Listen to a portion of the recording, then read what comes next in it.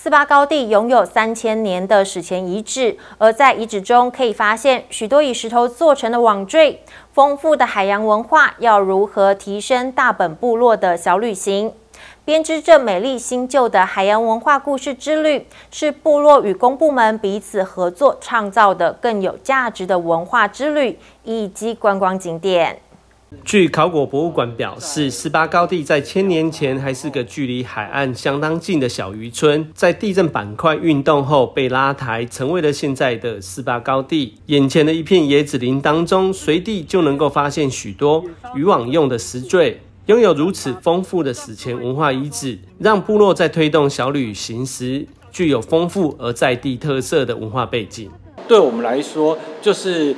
呃，不断的进在进行那个呃遗址的推广，其实是我们平常的一个既定的目标之一。这样，那遗址它有个特色，就是遗址就是埋藏在地底下。你如果你如果平常去的时候都看不到什么，大家就看到一些草啊，好，那一一一些树而已这样子。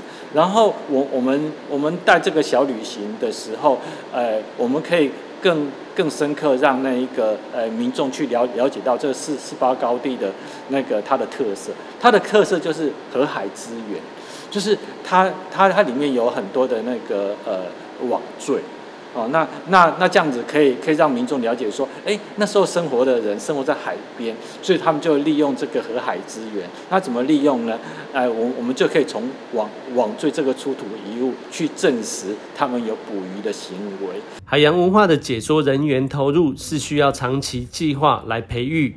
在文化与观光价值，以有计划性的进行推广。部落人力的资源投入，不只能够提供部落就业机会，还能够提升观光产业的竞争力。我觉得，因为这个区块里面有了我们除了我们海洋的丰富文化以外，旁边也有一个我们呃原住民文化的一个呃部落在这里。我认为，在我们公部门跟部落之间。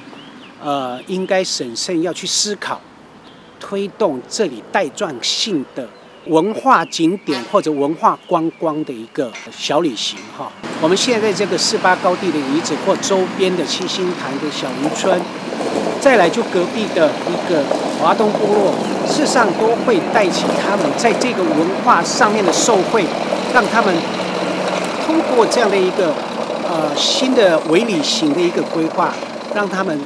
呃，文化经济化，让他们的产业能够提升。而在这一片史前文化遗址中，以部落探寻的方式加以包装整合，更可以让部落带来深层的文化与教育发展，并且培育部落导览人员，发展解说经济，让观光景点更有竞争力。记者林杰花莲市采访报道。